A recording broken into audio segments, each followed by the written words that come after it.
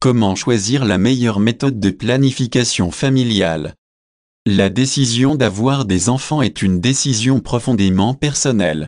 Si vous êtes sexuellement actif mais souhaitez retarder ou éviter d'avoir des enfants, il est essentiel de choisir une méthode de planification familiale, également appelée contrôle des naissances ou contraception.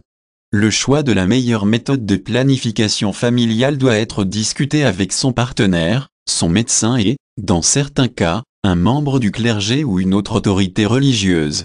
Toute forme de planification familiale que vous considérez devrait être compatible avec votre style de vie, vos besoins médicaux, les besoins de votre partenaire ainsi que vos croyances religieuses et éthiques. Beaucoup de gens vont discuter de leurs options de planification familiale avec leur médecin personnel ou leur sage-femme. Si vous n'avez pas de médecin ou de sage-femme que vous voyez régulièrement, vous souhaiterez peut-être vous rendre à votre clinique de planification familiale locale.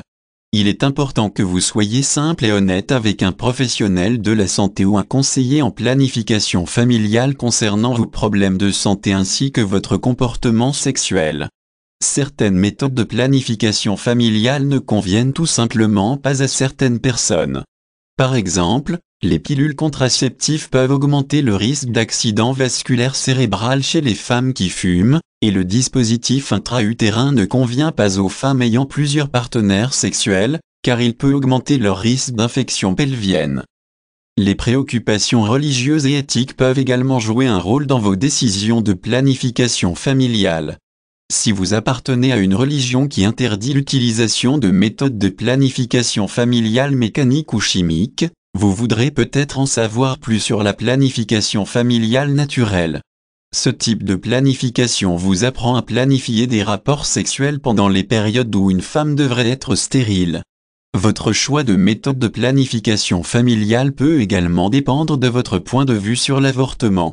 Si vous êtes profondément opposé à l'avortement et que vous ne souhaitez absolument pas avoir d'enfant, vous pouvez choisir une méthode de contrôle des naissances plus fiable que la planification naturelle.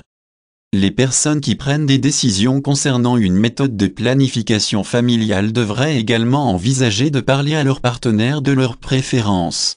Alors que de nombreux couples utilisent des méthodes de barrière comme les préservatifs ou les diaphragmes avec de bons résultats, certaines personnes sont allergiques soit aux matériaux utilisés pour fabriquer ces dispositifs, soit aux lubrifiants ou gels contraceptifs utilisés avec eux.